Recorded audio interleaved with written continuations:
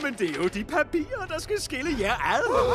Det er jo helt utroligt. Jeg kan rent faktisk se afslutningen på jeres venskab. Det vil gøre noget. Læg kuglepennen, her knold, eller vi hypnotiserer dig. Hvad? Hvad er det for noget? Plastikravl. Hvad er det, der sker? Det er ikke hvorfor snæver vi? Når jeg knipser med fingrene, vil du adlyde alle vores ordre.